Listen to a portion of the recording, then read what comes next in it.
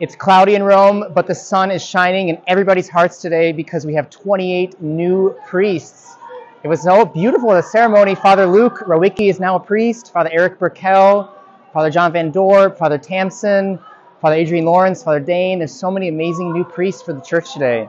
And we're so happy and joyful. And God is so good. And there's music everywhere, and people are singing, and they're so happy. God is good.